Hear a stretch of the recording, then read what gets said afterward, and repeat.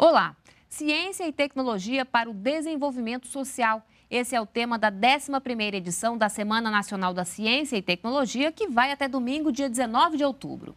No NBR Entrevista, vamos conversar com Oswaldo Duarte Filho, secretário de Ciência e Tecnologia para a Inclusão Social do Ministério da Ciência, Tecnologia e Inovação.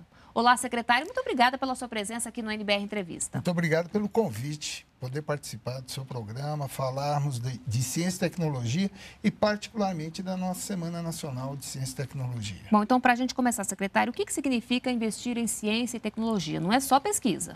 Não, ciência e tecnologia abrange desde a formação, capacitação, formação de, de quadros qualificados, mas também a pesquisa, o conhecimento, o desenvolvimento de conhecimento. Então, um país só se desenvolve se ele investe bastante em ciência e tecnologia e detém o conhecimento. Então, os países desenvolvidos dão realmente atingem eh, esse estágio porque dominam a tecnologia, porque dominam o conhecimento, porque investem muito em educação e é esse o, o, o caminho que o nosso país vem seguindo. Bom, isso é que eu quero perguntar, né? Como é que está essa questão aqui no Brasil? Quer dizer, a percepção sobre a importância da ciência e tecnologia mudou por aqui? Tem mudado. O, o Ministério de Ciência e Tecnologia faz, inclusive, uma pesquisa a cada quatro anos sobre a percepção do brasileiro em relação à ciência e tecnologia. E nós temos percebido, percebido avanços significativos. Para você ter uma ideia, hoje, em torno de 22 milhões de brasileiros participam ou passam por um museu de ciência. É algo por ano, é algo surpreendente, mas isso é uma demonstração de que o brasileiro vem participando e cada vez mais se conscientiza do papel da ciência e tecnologia para a melhoria da sua qualidade de vida. E é esse o objetivo da Semana Nacional, é esse o objetivo da Secretaria de Ciência e Tecnologia para a Inclusão Social. Bom, e o que, que tem sido feito para poder despertar o interesse por esse tema, seja nas escolas, enfim, seja na iniciativa privada, seja no âmbito governamental? O que, que tem sido feito? Há 11 anos nós criamos, o governo criou a Semana Nacional de Ciência e Tecnologia, que é uma semana para marcar a divulgação científica no nosso país. Mas, além disso, nós também temos vários museus de ciências que são responsabilidade da nossa secretaria as Olimpíadas do Conhecimento. Isso é fantástico hoje. Mais de 20 milhões de jovens participam só da Olimpíada de Matemática.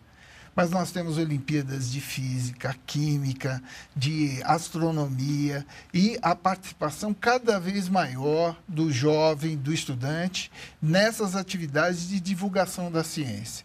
Mas o grande é, elemento de divulgação tem sido as feiras de ciências e também a Semana Nacional de Ciência e Tecnologia. Secretário, vamos falar um pouquinho do programa Ciências Sem Fronteiras. Né? Que balanço que a gente pode fazer desse programa que leva estudantes, enfim, professores, pesquisadores para ter essa experiência né, em outros países? É uma experiência fantástica, é um projeto importantíssimo para o nosso país. É, cada vez mais uh, o mundo é globalizado. E se nós conseguirmos levar no, os nossos estudantes e trazermos estudantes de fora, porque nós trazemos também estudantes para cá, para conhecerem a nossa cultura e também conhecerem os nossos estudantes, terem contato com a cultura uh, de outros países e da educação, do desenvolvimento desses países, sem dúvida, ao voltarem para cá, eles vão trazer na sua bagagem muita coisa boa que vai interferir, inclusive, na melhoria do nosso país.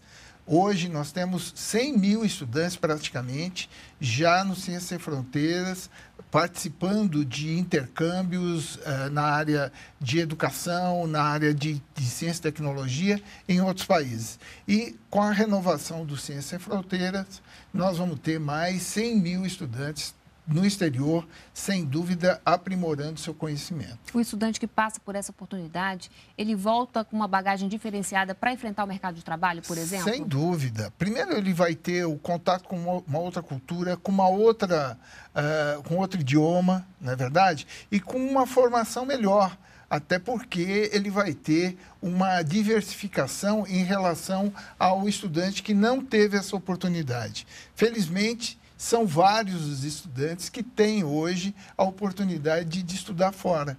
Há, alguns anos atrás, nós tínhamos somente pessoas com alto poder aquisitivo tinham essa oportunidade. Hoje, o Ciências Sem Fronteiras abriu a perspectiva para a população em geral. Bom, vamos falar agora da Semana Nacional da Ciência e Tecnologia, 11ª edição. Quais são as novidades, então, deste ano? Pois é, a Semana de Nacional de Ciência e Tecnologia é um evento de cunho nacional. Né? Hoje nós temos mais, a nossa expectativa para esse ano são, é de, da participação de mais de 850 cidades cadastradas participando de atividades de ciência e tecnologia entre os dias 13 e 19. A Semana Nacional ela tem um período fixado por lei, que é no mês de outubro, e esse ano é entre os dias 13 e 19. Porém, a, a, a, as cidades às vezes se adequam, fazem até antes ou fazem depois. Isso para nós não é o problema. O importante é fazer atividades eh, de ciência e tecnologia envolvendo a comunidade é, é uma oportunidade que a sociedade tem de conhecer um pouco da ciência e da tecnologia desenvolvida no nosso país e também apresentar no âmbito das escolas aquilo que é feito como ciência nas nossas escolas. Então, a ideia é que a população cada vez mais possa conhecer a ciência e a tecnologia e saber é, que é, a ciência pode melhorar a sua qualidade de vida. Com isso, ele poder até demandar mais da ciência para melhorar a situação do nosso país. Bom, falando em qualidade de vida, né? O tema deste ano é tecnologia e desenvolvimento social. Então, que relação que tem esses dois temas? Veja, a, até a, secretaria que eu tenho o privilégio de, de, de dirigir é uma secretaria de ciência e tecnologia para o desenvolvimento social.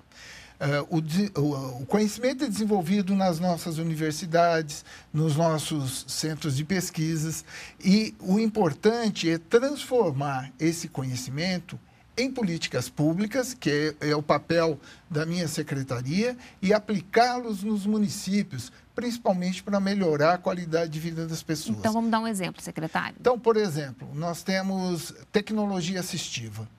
Tecnologias assistivas são tecnologias para destinadas a melhorar a mobilidade de pessoas que têm deficiência, por exemplo, alguma deficiência. Nós podemos, usando tecnologia, melhorar a qualidade de vida deles, né? desenvolvendo, um, um por exemplo, para uma pessoa que tem uma deficiência visual, um, todo um sistema para que ele possa se deslocar de ônibus, sempre de forma autônoma. Quando nós podemos, podemos melhorar a qualidade da, das nossas cadeiras de rodas, tudo isso faz parte da tecnologia assistiva, a parte de órtese, prótese, e isso está sendo desenvolvido nas, nas nossas universidades e nós estamos fazendo essa ponte para levar isso para um setor produtivo e que a população possa ter acesso a essas tecnologias, por exemplo, a um custo acessível a ela. E é esse tipo de exemplo, esse tipo de experiência que pode ser encontrada na Semana Nacional da Ciência e Tecnologia. E essa e muito mais. Né? É, nós temos na área de inclusão digital, na área de, da saúde, a ciência e tecnologia está por trás de tudo. Quando nós acessamos, utilizamos um celular, que hoje é, um, é uma ferramenta, nós nem pensamos mais a tecnologia que está envolvida ali mas tem, é pura tecnologia dentro de um celular que hoje facilita a nossa vida, não é verdade? Na medicina, quando você vai fazer um, um, um exame de tomografia, é tecnologia que está sendo usada para ajudar na sua saúde. Então, a, a ciência e tecnologia hoje ela permeia né, praticamente todas as nossas ações que do dia a dia. E é, isso vai ser, é, as pessoas vão encontrar nos, nos eventos que ocorrem nas cidades. Né? Então, desde o estudante que vai mostrar lá a ciência pura que ele está fazendo ali, um, uma criança, um estudante de ensino fundamental, né? até as nossas universidades e centros de pesquisa têm oportunidade de apresentar para a população aquilo que está sendo desenvolvido. Bom, já são 11 edições, né? Que balanço que a gente pode fazer desde a primeira até agora? É, ela vem avançando, né? E avançando rapidamente. É, o ano passado nós tivemos mais de 700 municípios participando da, da, da, da Semana Nacional. Esse ano a nossa expectativa é de 850 para mais, né, de municípios participando. E com o ano passado nós tivemos 30 mil atividades, esse ano nós estamos esperando mais.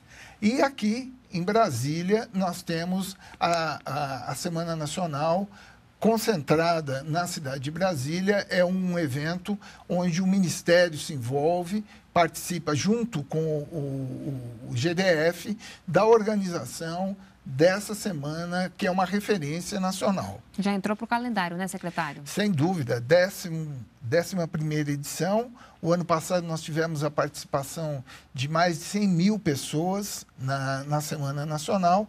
A expectativa é que esse ano cresça mais de 20%. Ou seja, não é só um programa para estudante, para universitário, a família também é um bom programa para a família. É um programa para a família, porque ali as pessoas vão ter oportunidade. Primeiro, além da exposição das, das várias instituições que vêm de Brasília e de fora, aqui na, na Semana Nacional, nós vamos ter cursos, conferências, uh, minicursos uh, que permitem a participação das pessoas e permitem também que as pessoas possam conhecer o que aqui está sendo desenvolvido.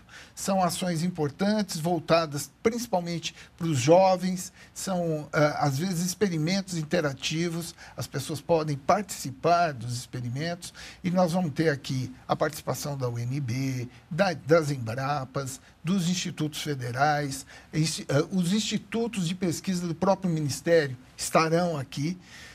A, a, nossa semana aqui de Brasília, ela vai ocorrer.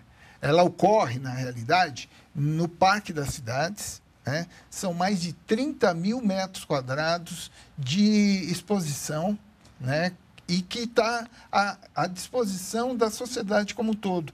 É um grande é, é, passeio para a família e principalmente para os nossos jovens e estudantes. Bom, você acredita que iniciativas como essa fazem com que as pessoas tenham mais interesse por esse tema, aproximem né, o nosso cotidiano, o nosso dia a dia da ciência e da tecnologia? Sem dúvida. Ali o jovem vai ter contato com experimentos, com pesquisadores porque ali nós temos os pesquisadores junto a, aos estantes também. E é uma oportunidade de conversa, até de escolha, às vezes, da sua futura profissão, o curso que vai querer fazer.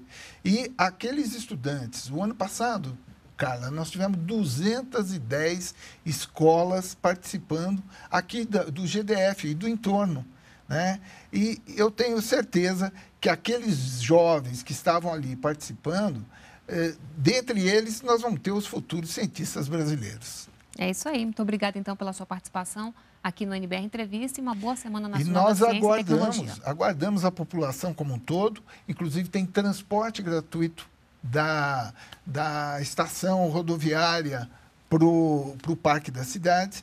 E a, a semana funciona das 8 às 18 horas, de, do dia 13 ao dia 19 e no, na quinta-feira vai até às 21 horas. Tá certo, não dá para perder, né?